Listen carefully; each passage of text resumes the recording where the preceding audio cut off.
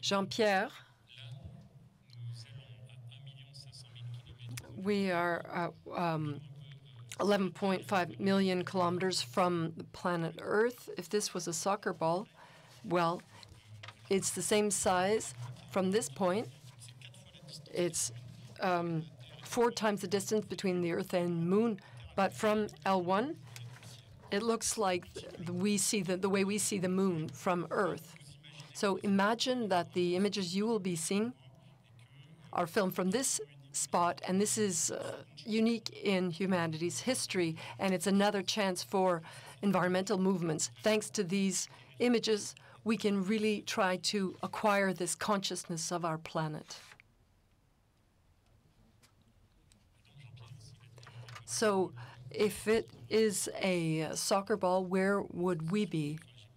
Well, I haven't made the exact calculation, but we would probably be much further than here. So if it would be a soccer ball about 50 meters, we would see the ball, but... Well, I haven't calculated things precisely. So Virginie, you're here with us today. Thank you. I guess you have to uh, make sure that the sound is um, properly organized with the uh, sound technicians. Thank you for being here. Well, for me, it means a lot to be here. Lena had talked about a type of uh, power. Well, I have a sense of power when I can transmit this music to work to preserve the Earth, the oceans, and the whales. So I am very honored and happy to be here with you. I have chosen a piece for these images, which is called the Salutation of Love. It is my expression of love for the planet.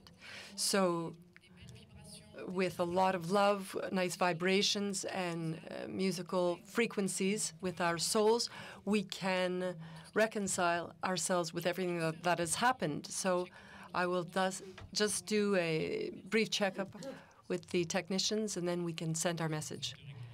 Well, I will take that time to say that there will be a uh, question and answer session with Paul Watson. There, There's a box where you can leave your questions, and for those who are following us throughout the world, there is a button on the site which enables you to go onto the Curious site, and you can uh, put your questions there. So thank you to Curious for this partnership. There's also a petition that you can sign to call upon people to make this connection with the Earth. So now we will be at um, one point, or 11.5 um, million kilometers from the planet Earth.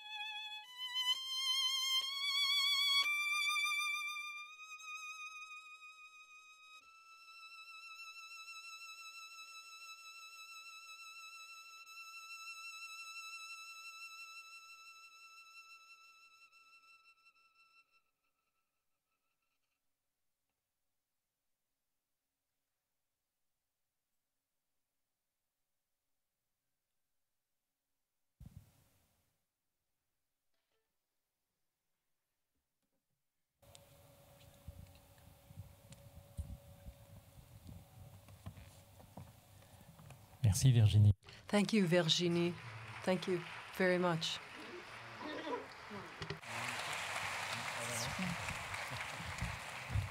Donc Paul, quand on voit So, Paul, when we see these images, this color and this extraordinary beauty, what date was this? These are images from uh, the 15th of May last.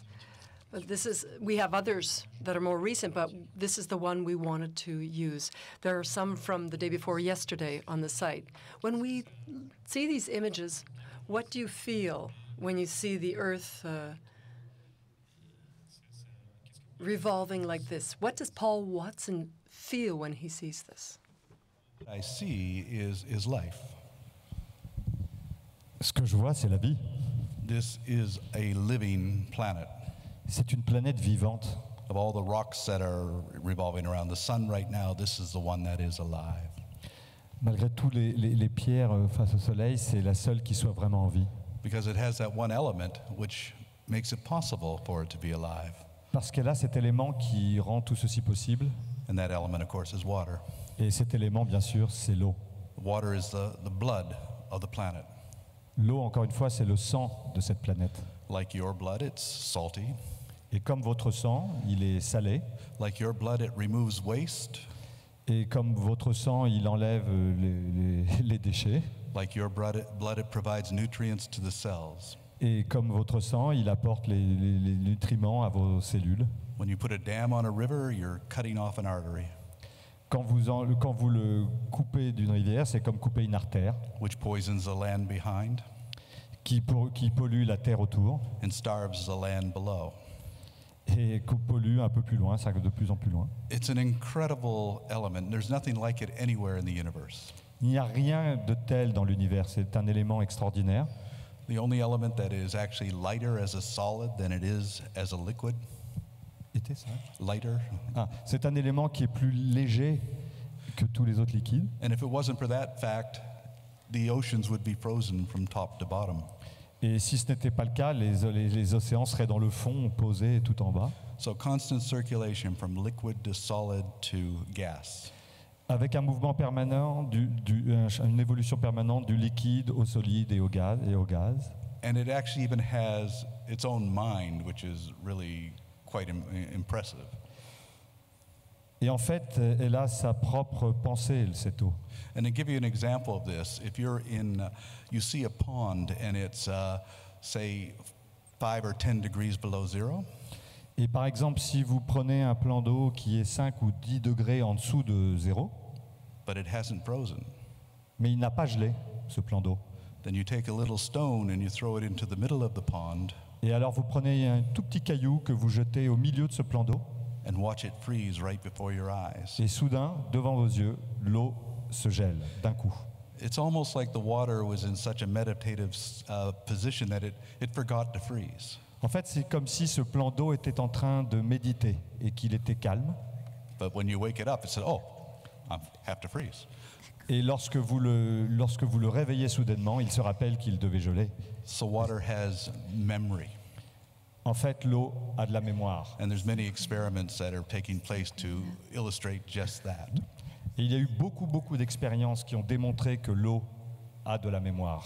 But one of the most fascinating things I think about water is that it's been here for as long as uh, this planet has been here. Mais la chose la plus incroyable à propos de l'eau, c'est qu'elle est sur cette planète depuis le début, depuis que cette planète existe. When you drink a glass of water, Quand vous buvez un verre d'eau, just think that that glass of water, uh, millions of years ago, pensez juste que ce verre d'eau, depuis des millions, millions d'années, was once pissed by a dinosaur. qu'un jour... Again, different? Please, A, bi- a dinosaur Ouais. C'est bien ça, qu'un jour, euh, c'est du pipi de dinosaure. So what I'm trying to illustrate is that it's in constant circulation. Water comes through us and goes on to something else. Ce, qu'il essaie, ce que Paul essaye de vous dire, c'est que l'eau est, en mouvement permanent, un cycle permanent qui passe par, qui passe par les glaces et continue son cycle. And it's that circulation of water that makes life possible on this planet. Et c'est cette- circulation de l'eau qui permet à la vie d'être sur Terre. And right now, what we're seeing is a rapid scarcity of water. Et là maintenant, on affronte de vrais problèmes avec l'eau. water that is useful to us De l'eau qui, est pourtant, qui nous est pourtant utile, à nous les êtres humains, because we're foolishly wasting that water. parce qu'on est bêtement en train de la gaspiller. And therefore, we have to be aware that it is the most valuable substance in our existence. Et il, il est très important que nous prenions conscience que c'est l'élément le plus vital de notre système euh, sur cette terre. Merci.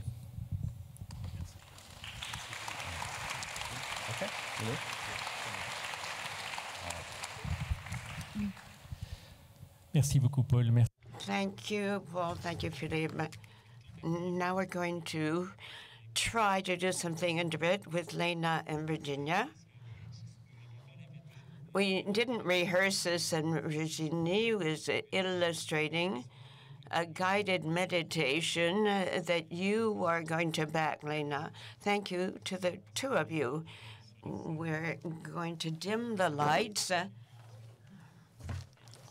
We saw Elix a moment ago, who will be with us uh, all day long.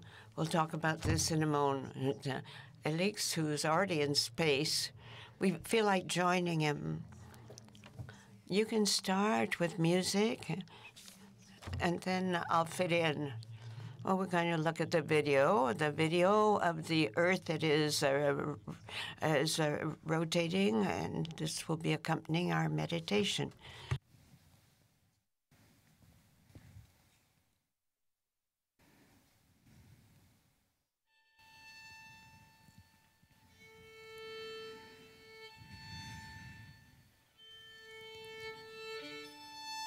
Imaginez que vous êtes à Think that you're lying down at the surface of water. Your face is looking at an infinite sky. Your arms and legs uh, go loose. you relax. uh, uh, it becomes more fluid. You're borne off, completely supported by this warm, live water that's free flowing. the ocean is rocking you in its maternal role in this cosmic atmosphere. Breathe in. exhale. Open your heart and receive.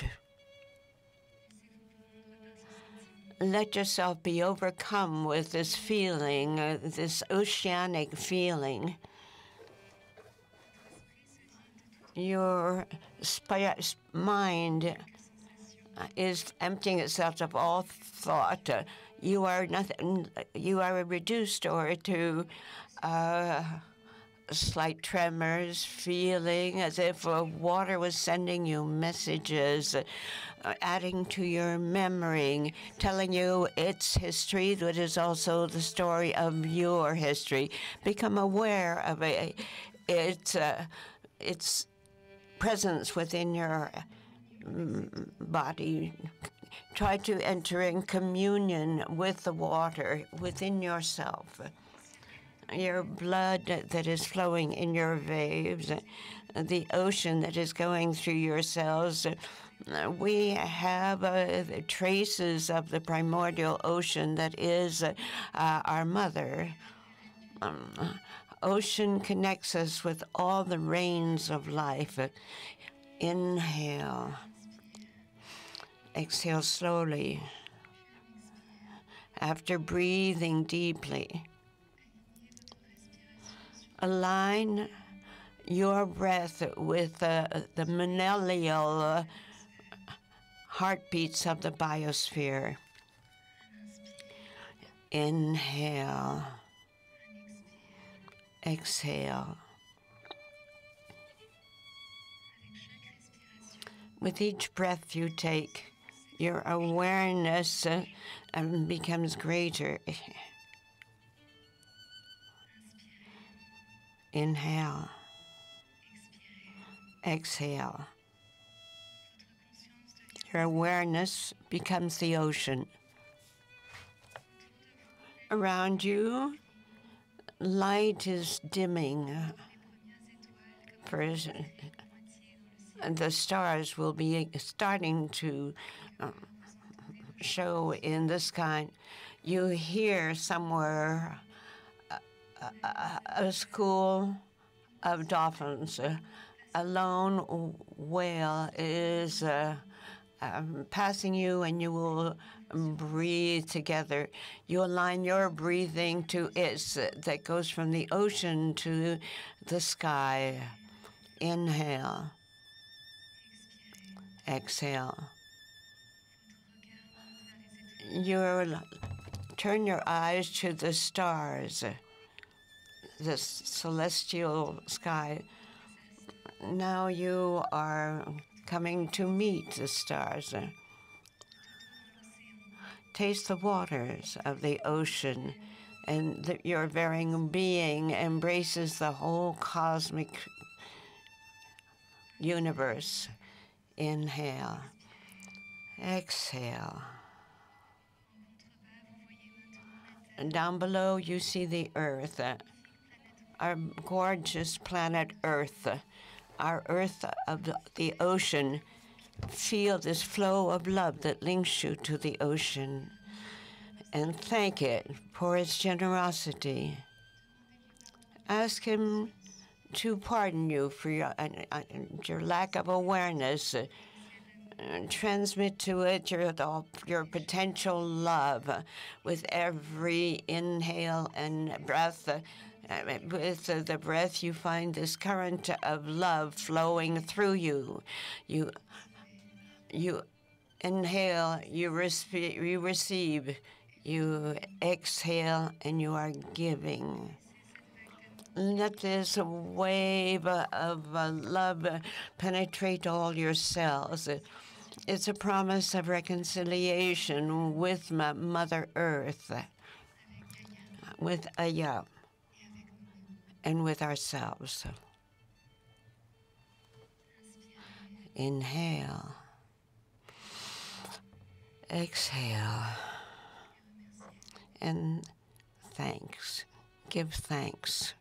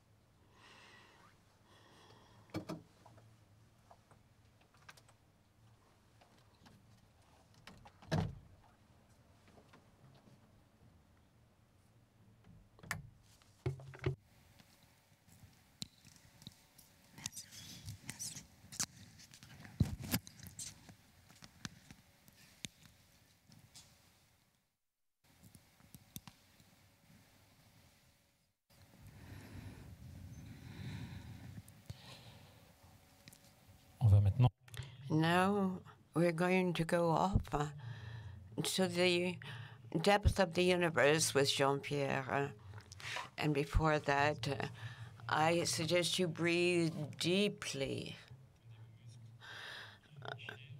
Stretch out your muscles and relax uh, and to receive the next meditation. Virginie is still with us. Thank you for the vibration. Uh, uh, it's as if the vibration of the earth was coming through your violin. We're going, we're going to dim the lights. Jean-Pierre, that'll be great for you. We're all with you and Virginie, the universe. A hundred million galaxy catapulted by the Big Bang. We have the Milky, uh, Milky with all its stars. You avoid the center of uh, this. Uh, the um, black eye will, black hole will go every elsewhere. Uh, we go to the extremity where you have uh, the sun with its planets, and where you have the jewel of the universe. In the the black sky with its um, its with its stars, you see a, a blue light. You go beyond Saturn and Jupiter and their rings.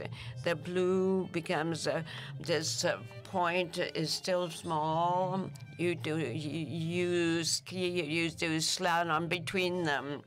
Uh, you have red of the march. The Earth is not far, but it's still only a small dot. You hold your breath. Uh, this is the next planet that you're getting to. You close your eyes. It just uh, the source of energy, this mysterious energy, is going to take you to the sun slowly but surely. You're feeling the heat of the sun. It's uh, gentle. You decelerate, or you're just about to get there. You let yourself be guided, and uh, your speed goes slower and slower. You inhale, you exhale. All of a sudden, you don't budge anymore. There you are at the L1 Grand. You have relaxed. Your eyes are still closed. The heat of the sun is in your back, and you know that it's there across from you. You feel its presence. It's a, it's force of gravity that is equal to that of the sun.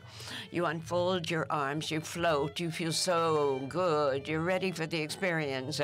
You inhale. You exhale.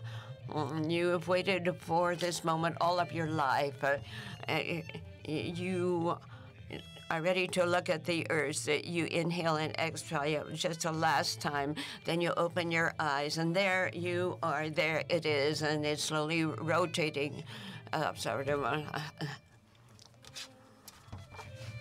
it's more beautiful than all the planets that you visited. It is the crown jewel.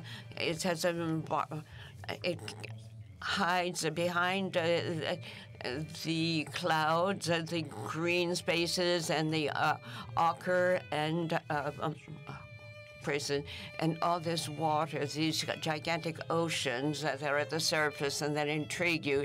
The blue planet, the ocean, uh, such a gorgeous and fragile Bible and you go toward the Earth. You're floating like a spectrum to go toward it. As you get closer and closer, it continues turning. And uh, like a kaleidoscope, it brings you uh, new marvels. Uh, you're above it in the orbit. You stretch out your arms and your fingers and and lightly feel uh, this atmosphere. You go closer to uh, the strength, and you feel the strength of the storms and the, a gentle wind. Uh, you, go to the pole and you get feel you tremble. You go down to the equator, equator, and then it makes you warm. And you plunge in the water to get cooled off. It's less deep than you would have thought. You put your fo- you put your face close to the water and you inhale salt water. Uh, they're small little creatures that are are are um, are swimming, and these are hump whales. Uh, the waters they're connected to the rest of the cosmos. They feel uh, you're present. They want to say something. You listen. You listen to its uh, song. They want to uh, warn you of a danger. Uh, you're talking about these creatures that are destroying the oceans and and the earth. You don't understand how it's possible. The whale is asking you for your help. You say, "Don't worry." You try and go and find these creatures. You find one, and then more. And if you see that there are thousands of them, millions and billions of them, these are creators that are various colors you don't understand what they're doing, but they carry out, they're living frenetically, unlike the whales. Uh, only a few are linked to the cosmos. They've forgotten the basic rules uh, of life. You try to communicate them. You say three things that are easy to understand meditate, love, and dream. You come back uh, to the hump whales and you say to be a little bit of patience and everything should work out all right. You'll come back to be sure that everything has been orderly. It's time to leave. You go back into the orbit. You can get yourself sucked in until L1. You look at the Earth the last time. A moment later, it's just a little, uh, the crown of the universe, a light blue dot.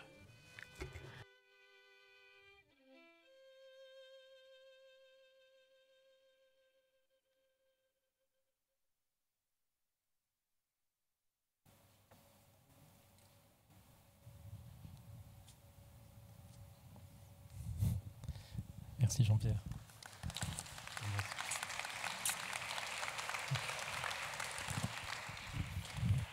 Merci Virginie.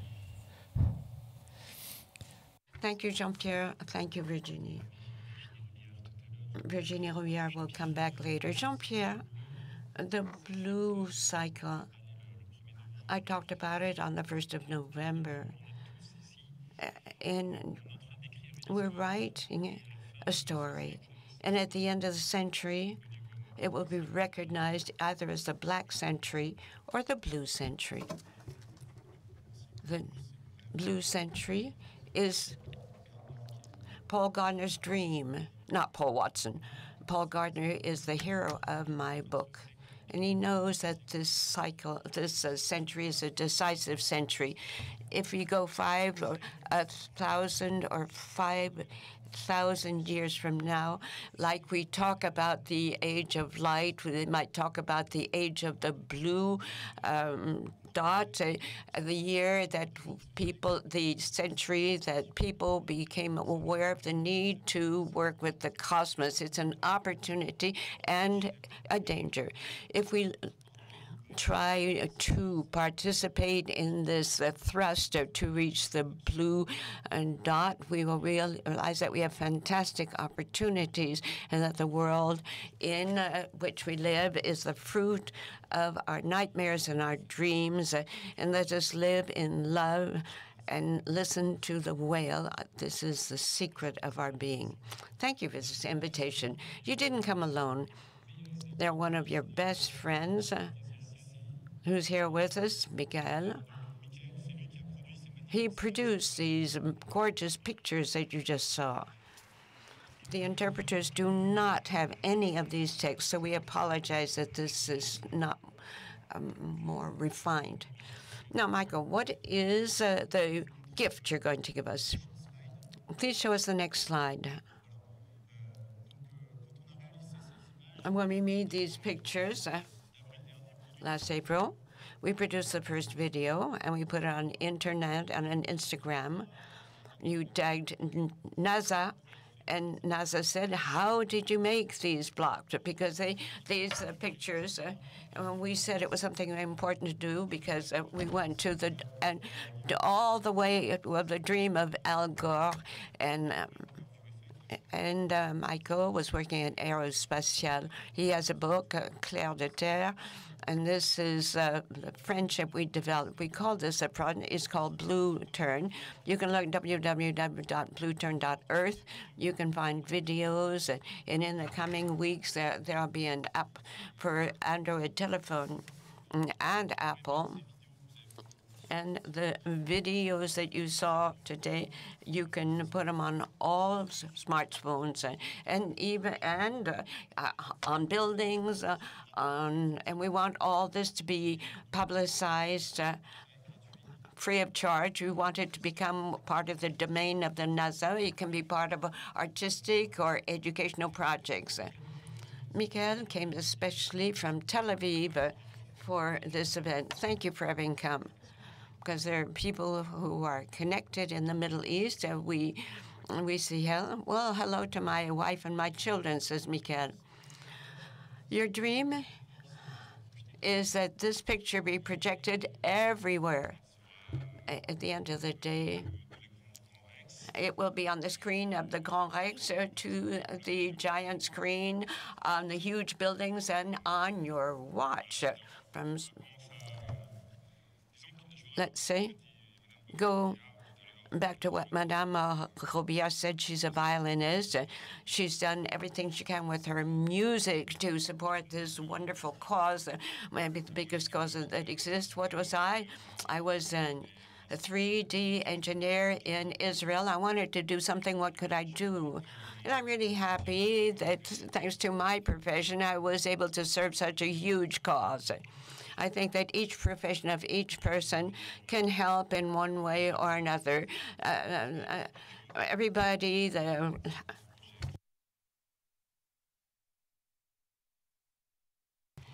from the mason to the cabinet maker, the word would be different if we had this picture of the world permanently before us. And here we see Mother Earth. Now, Yacine, would you come and join me? We're going to have a one minute meditation, uh, and he will present Elyx.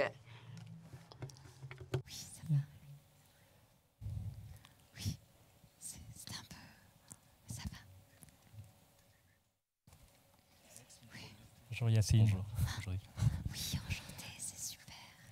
Donc je ne sais pas si la régie peut nous envoyer Elix. Thank you for bringing us Elix. Here, there he is. He's on you. There you've got Elix. You've created this being, and it's gone around the world. And s- tell us about uh, the adventure of Elix. Then you can see it for the Day of the Oceans. Elix is a sort of uh, particle of humanity. It's an elementary particle. When I created it, I came from the digital world the numeric world with these very sophisticated and complicated mechanisms. And one day I wanted to communicate. So I tried to find some way to communicate, something that would mean something to everyone. And you find the commonalities of all the people on this planet. So the I found three commonalities. The first common point is that we we were all children. We forget that we were all children's. And our reflexes are such that we can reactivate them. It's a wonderful time of life. You're learning, and our imagination is everywhere all the time. We have the possibility to go from reality to imagination. Now, the second point of commonalities is the the first, the ma- main way of communicating is drawing. It's a non-verbal expression. We saw this uh, in a rather dramatic way, in a tragic way this year. And in my pictures, this is a picture with a drawing. You keep talking about my, my drawings. Third common point um, that you're illustrating here is the smile. 17 muscles uh, of all people. Unless you've got some physical problem, it's 17 muscles. And it says a lot more than words can. In the world where we're trying to find the differences, this was really an effort to find the smallest common denominator and take it around the world, all over the planet.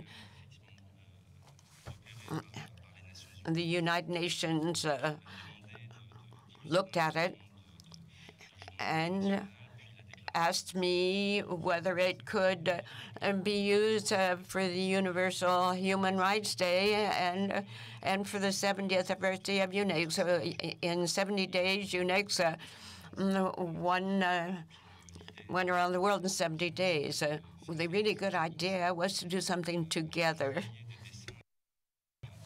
to send uh, the drawings all over the world uh, from the, and we published uh, the the pictures uh, with Amélie uh, Poulains, uh, like she did. Uh, so Alex went around the world. Sometimes he went to Tehran, he went to the Gaza Strip, he went to Ukraine. The next year was in Russia without a visa, without a passport, and always smiling.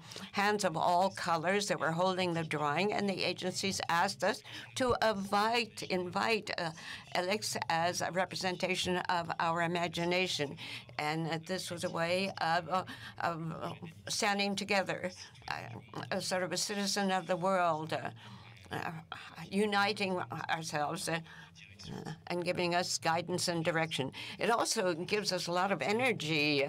And you saw that as you were talking about it this morning. You sort of light up. Yes, exactly. Well, you're making it exist uh, by sending these pictures and talking about Alex as if Alex existed. This is the strength of our imagination, of our capacity to create and to generate pictures and ideas.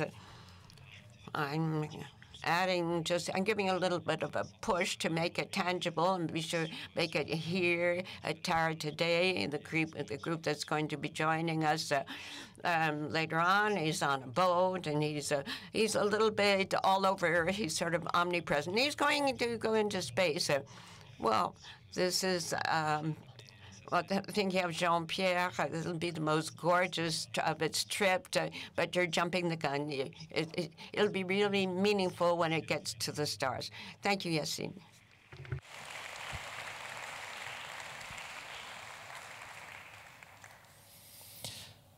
Bien, je propose euh, cinq minutes de I suggest that we have a five minute break, and then Paul Watson will be with us again.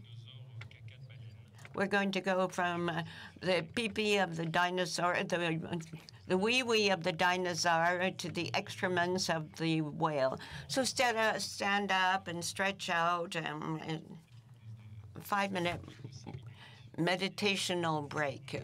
So then afterwards we'll be all ready to re- receive Paul Watson. Well, if you are really interested in all these dreams, uh, there is uh, there are five boxes. That'll be the fifth dream. If you have dreams, write them down. There's a petition. More than 10,000 people have signed the petition uh, calling for respect for the ocean, life. uh, and if you have other suggestions, other questions for, uh, we'll have discussions uh, with Paul Watson, and you can also put them on the site or deposit them in the box at the entrance. So, see you in four minutes since I've been talking for one minute.